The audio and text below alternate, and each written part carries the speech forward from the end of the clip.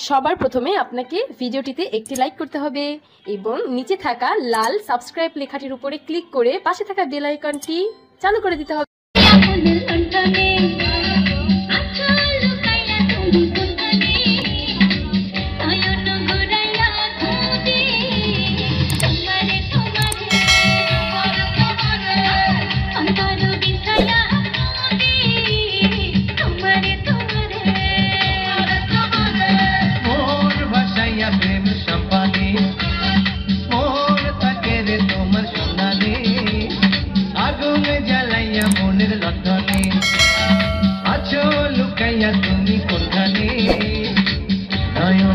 গয়া খুঁজি